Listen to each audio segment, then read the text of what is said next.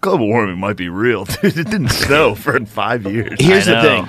It, it is definitely a real one? thing. Secretly, beast. Wow, you, you went with no music. You guys are having a good conversation. It's it's definitely real. The question is Shut like. So how much of it is because of us? And how much of this green deal stuff is just bullshit where people are trying to make money and control people? Well, that's- uh, because yes. both Yeah. things are happening simultaneously. Yeah, so both like, can be true. It's there not is black and some white. yeah, there is some sort of a change in the climate, but then also when you look at the level of carbon in the atmosphere, it's it's it's like the amount of it is not that much. It's not. I don't think it's the major issue. And there. What is the issue? The, the world gets hotter. There's a never a static temperature for Earth from 65 million years ago to today. When they do core samples, it does this all Oh, throughout right. history. The question is, how much of an impact do we have it on it? We know we're having some impact. That's what they know. These are snowfall totals for Central Park over the last. I mean, it goes back a while, but these are just the last like 25 years. 2.3 and 7.5. Those are the lowest two.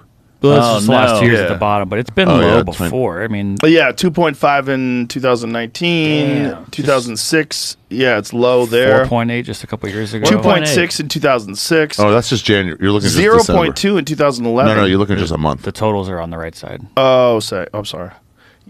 Yeah. 2.3. It's been low. Yeah. It's been high. It's been low. It's been up and down. nice. no black but ice here's is the nice. thing: if you make some crazy decisions that are going to destroy the What? economy, you make some wild decisions that are going to destroy the economy and enrich giant corporations, but nothing changes sure, because for it just sure. keeps going up and down. You got to be careful. Yeah, 'cause these China- eggheads are China not and careful. India, China and India are not going They're to chill. going It's full all them. bore, right? mostly them. and their Yeah. economy is going to grow because of it. China That's- went crazy, right. though, on environment. What are you talking about? They just built 200 new coal-powered plants. Um, Whoa. I thought they were cleaning up No, no, all, no. The, all their pollution. No, they're talking. They have Listen, concentration they're, they're, they're, camps. they're making well, because new their air coal was so plants. bad. They're like, we got to do something here. They figured out some ways to Yeah. mitigate that, and they're also developing gigantic filters that are like the size of an apartment building. wow.